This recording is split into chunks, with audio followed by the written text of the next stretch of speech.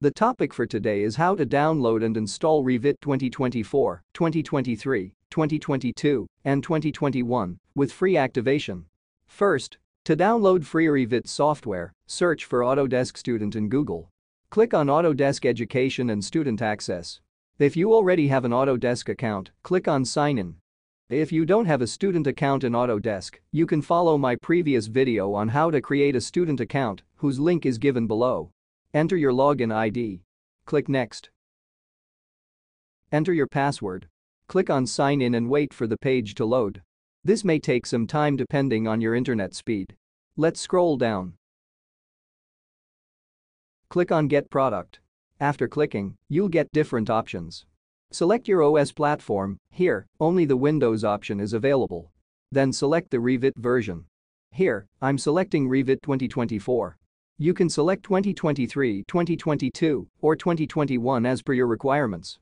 Select your language, click on the side of the arrow. If you want direct installation, it may take a long time depending on your internet speed. Click on download and multiple files will start downloading. If you are using a pop-up blocker, then disable it or click on allow multiple file download. The total size of the Revit installer is around 9 GB. So this may take some time based on your internet speed. While downloading the software, let us know the system requirements for Revit 2024. For entry-level system configuration, it required a 64-bit Windows 10 or 11, Intel, or AMD CPU with a minimum 2.5 GHz clock speed. 16 GB of RAM and a minimum 1280x1024 resolution display. For a balanced performance configuration, it required a 64-bit Windows 10 or 11 and an Intel or AMD CPU with a minimum 2.5 GHz clock speed, 32 GB of RAM, and a minimum 1680x1050 resolution display. For large and complex models, it required a 64-bit Windows 10 or 11 and an Intel or AMD CPU with a minimum 2.5 GHz clock speed, 64 GB of RAM, and a minimum 1920x1200 resolution display.